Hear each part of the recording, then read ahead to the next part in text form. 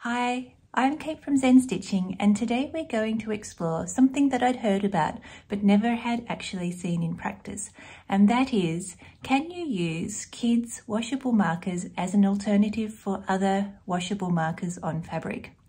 Let's change camera views and find out. So we wanted to try figuring out whether these kids washable markers will work as a really good substitute for fabric markers working with craft projects.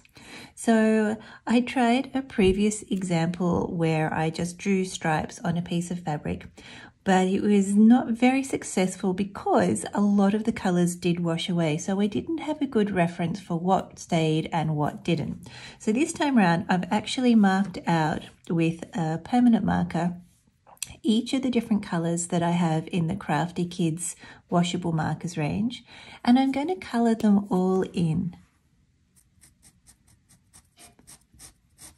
So this way I can see what colors wash out and what colors leave a stain or what colors remain for that matter.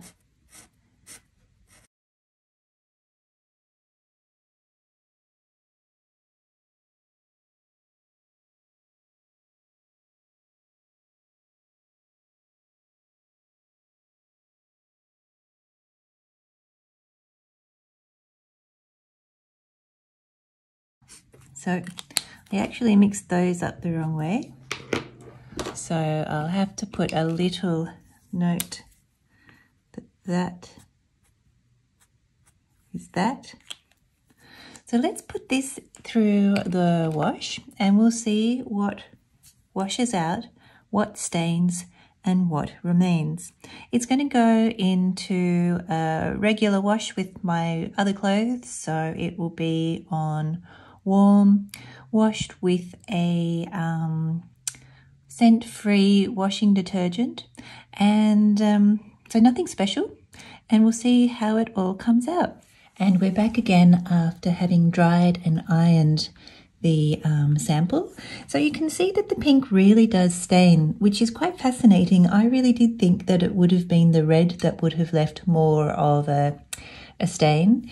And um, orange, there's a slight edge there. Same with the purple. And there's a slight marking there on the black.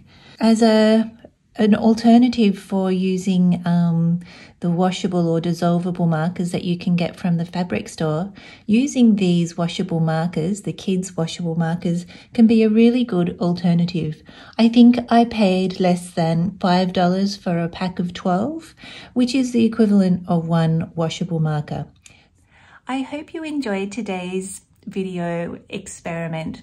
I think it's totally fascinating to see that we can use some of these coloured markers as an alternative. I find this is really helpful when uh, working with Sashiko just because uh, sometimes when drawing out the grid it's helpful to have different colours to delineate different parts of the pattern.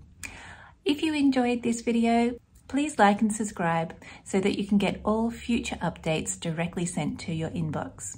Wishing you many happy hours of stitching.